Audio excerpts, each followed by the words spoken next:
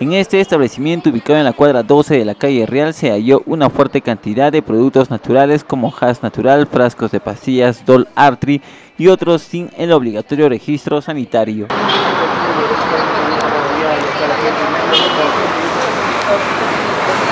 Hasta el lugar se apersonaron efectivos de seguridad del Estado, de la Policía Nacional, la fiscal de prevención del delito y una representante de la DEMI Direza Junín, quienes corroboraron la ausencia de los registros y ordenaron su posterior incautación de los mismos.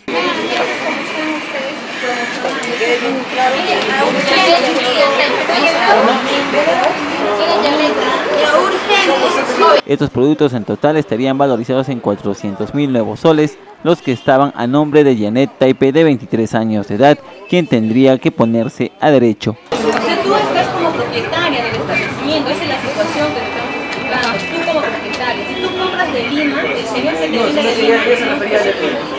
En los siguientes días estos operativos continuarán para evitar que algunos establecimientos cumplan con los requisitos del Ministerio de Salud y no se esté atentando en contra de la salud pública.